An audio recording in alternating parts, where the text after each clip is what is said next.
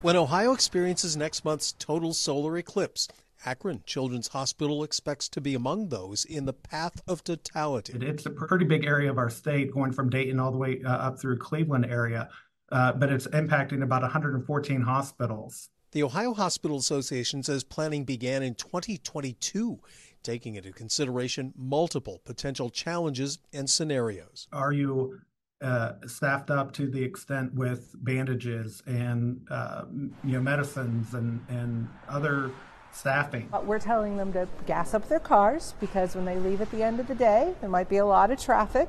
We're telling them if they have uh, child care or appointments right after work, make sure they have a plan B. Hospitals also concerned about patients with important appointments being able to make it there.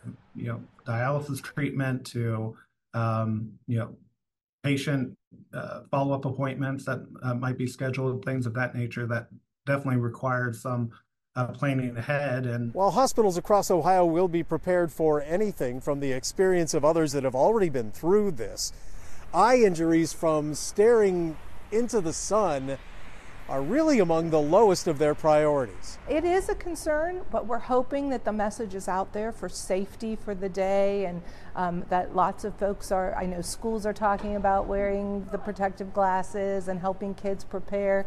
We're doing the same thing. Hospitals using the experience they gained from the pandemic to prepare for crowds. We have systems that were developed through the pandemic to communicate and make sure that we can move patients and, and we balance resources if there's some kind of regional crisis. The planning has been substantial, but now that we're in kind of the uh, almost within a month, you're going to see a lot of that really amp up. Dave Nethers, Fox 8 News.